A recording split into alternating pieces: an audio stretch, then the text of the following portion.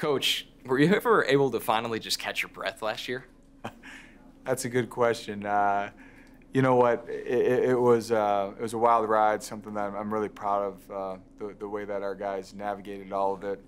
Uh, you know, to be honest with you, I, I, did feel like I caught my breath during the season. We're in football mode, uh, working with great people, working with a great group of student athletes.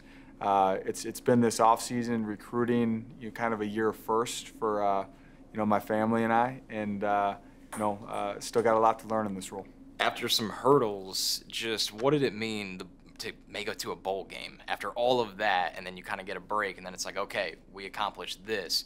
What do you take from that? You know, I think the thing that was most valuable was another opportunity with that group. It was such a special collection of, of young men, 103 guys that made the decision to stay and, and to, to have earned an, uh, an additional opportunity to go play together is something that we were all really excited about. I think the thing that you know I'm most proud of in terms of the way that our guys moved through that process is they, they, they, knew there was unfinished business. They wanted to, to make sure they put an exclamation point on a season and, and finish the season off right with a win, and uh, you know they, they were able to do that. It felt like the expectations from the outside, not internally, were like just survive the season for you, and you surpassed that far and away. How did you get there?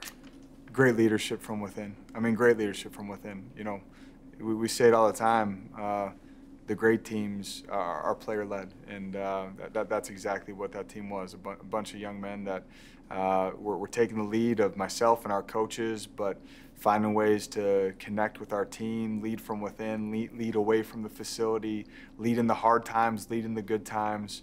Uh, but you know that group of young men that decided to stay, there was so much hard work that went in you know, that, the, the previous winter, over spring ball, early stages of summer, there was goals, dreams, and aspirations that were on the table, and th- there was no way that we were going to sell ourselves short. The expectation within the building was was lofty. Uh, we certainly navigated some ups and downs throughout the season, but but certainly very proud of the way that that our guys navigated and finished. There's going to be a new quarterback under center. What's the pulse of that room right now? You know, uh, hungry. Uh, you know, excited for Jack Lausch. He, he had a great spring. Uh, really came out of spring, you know, earning uh, you know, the edge up going into fall camp. Uh, we were very transparent with that quarterback room in terms of where that all lied and, and the fact that we were gonna gonna look to potentially bring in a transfer. Uh, we were able to bring in Mike Wright, you know, who was previously at Vanderbilt, had have been heavily recruited from Northwestern out of high school, took a year at Mississippi State, and uh, graduated and was was looking for a new opportunity. Mike has been a great addition to our team, a great addition to the quarterback room.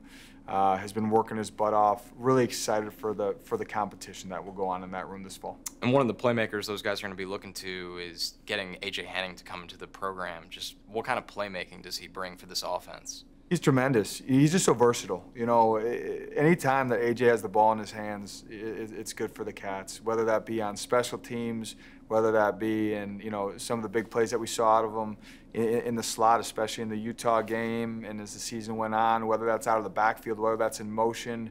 Uh, you know, he's just he's just so versatile, so electric, and and, and to be honest with you, you know, he's just been such a a, a pleasant. Uh, you know, addition to the team these last two years in terms of the way that he's moved, the way that he's led, the, the, the, example that he set for, for guys around him. It felt like you guys could lean on your defense a lot, and they were a huge part of the success you had. So, what do you look to refine this year after so much success last year? I'm really excited for, for our defense, really excited for Tim McGarigle. Uh, you know, couldn't think of a better, uh, you know, man to put in that leadership role on the defense. And, in the conversations that Tim and I have talked about, you know, th- th- this is an evolving Big Ten landscape.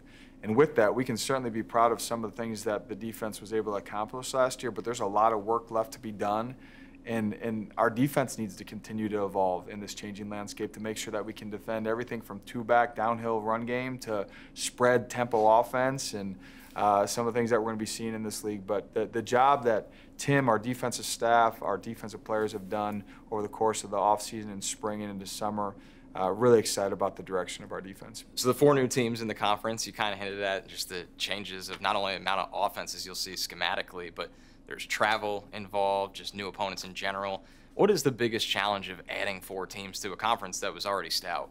You know, uh, it's really exciting in terms of the talent and the level of coaching and the matchups that it creates. It's it's the logistics, it's the travel, it's the you know, wellness of your student athletes in terms of some of the taxing situations that may mean, depending on the, the kick time and the travel and when do you play your game next week. And, you know, thank goodness for incredible director of football operations and, and support staff and a lot of smart people in our, our, our sports science departments that are going to be keeping their thumb on making sure we're doing everything to make sure that uh, our, our guys are healthy and, and, and ready for the following week. Home games will look a little different. What are some of the maybe not just challenges with how the home games will be played this year on a different field, but also maybe some things that are a little bit more exciting? You know, I, I think the greatest challenge was, and, and whoever was, in, everyone that was involved with this, certainly don't don't envy him, but it, it was finding a way to bridge old Ryan Field to new Ryan Field. Well, what's waiting in new Ryan Field is so exciting, but bridging that gap is a unique needle to thread, and uh, I'm so excited that what we landed on at the end of the day is is on campus.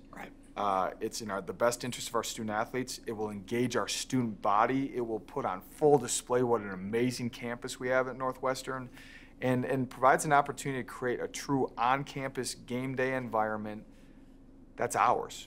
It, it, it, will be imperfect. There will be challenges along the way, but at the end of the day, it's on campus. It's engaging our season ticket holders, our students, and uh, is going to be an awfully unique, uh, you know, setting for, for, for the next two seasons before we get to the new Ryan Field. Your excitement when talking about this program is pretty evident. It shines through. What is your favorite thing about coaching Northwestern? You know, it's it's the fact that our values align with the things that I think college football is all about. It's a true student athlete experience. I'm so excited the direction that college football is going from a standpoint of further supporting our student athletes. I'm all for it. It's awesome. Uh, excited to you know continue to find the roadmap that's best. But but I absolutely love the fact that at Northwestern, football is still being utilized as a vehicle to help young men earn a Northwestern degree that will impact the rest of their life, and uh, is being used as a vehicle to for young men to uh, develop and, and, and, set themselves up for uh, you know the man they want to be 20, 30, 40 years down the road. Thanks, Coach. Absolutely. Thank you.